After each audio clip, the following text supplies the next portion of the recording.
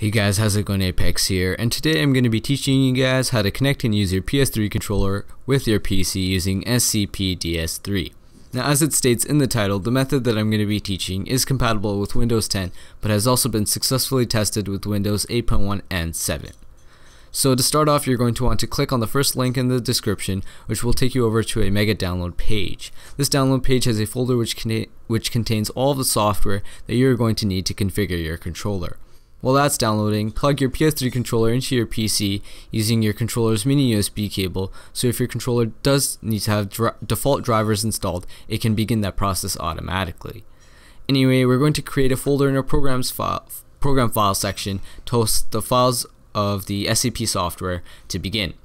So start at your local C drive, go to program files, and then just right click, new, and then create a new folder call, called scarlet.crush productions. However, I've already done that beforehand, so there's no need for me to create a du duplicate version.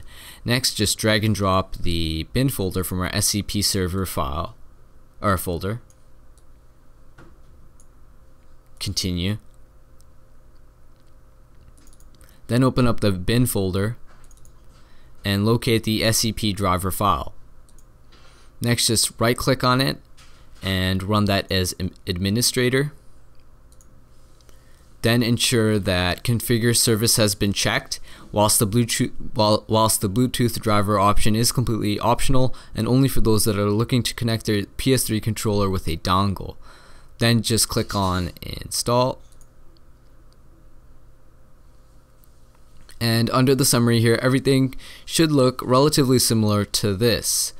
Now, I'm not sure if it says it here some uh, somewhere up here, but you will want to restart your computer for all of the new drivers and all of the settings that this program has customized to be applied. So I'm just going to come back right after I've restarted my PC.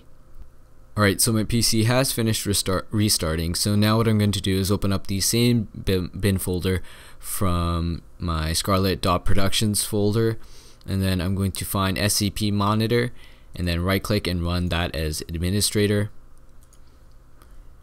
Next, I'm going to click on the Show Hidden Icons button and then find this logo in the tray.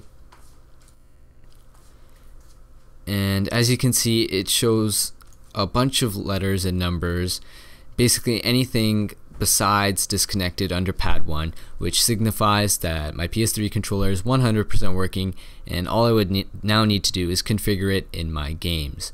So one more thing to consider and remember is that this SCP system essentially emulates your PS3 controller as an Xbox 360 controller, so your games, your OS, and programs might detect your controller as an Xbox model as opposed to a PlayStation one.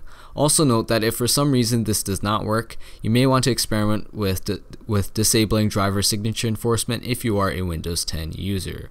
I'll a, I will have a link in the, in the description which has an article that talks about how to do that, so check that out if you're having issues. Anyway, I hope this video did help you guys out. Leave a comment down below if you did if you do have any questions, concerns, or suggestions for future video ideas. And if you did find the video helpful, please consider hitting the like button. You can also hit the subscribe button if you want to stay tuned for more high quality tech content as I upload new videos one to two, one to two times a week with a guaranteed upload every Friday. Thank you guys so much for watching and I'll see you in the next one.